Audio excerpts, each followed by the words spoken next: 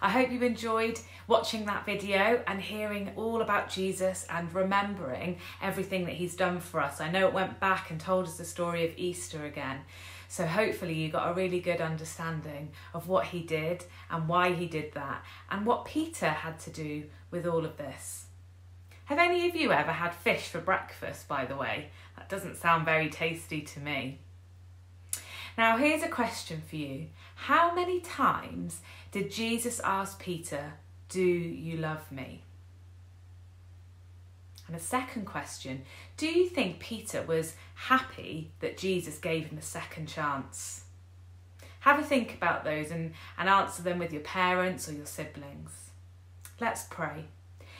Dear God, thank you for being such a forgiving and loving God we are so sorry that we get things wrong so many times, but we thank you that you give us second chances. Please help us to live lives that are honouring you and that will glorify you. Amen. Now, perhaps you could spend some time today doing a craft that relates to the story.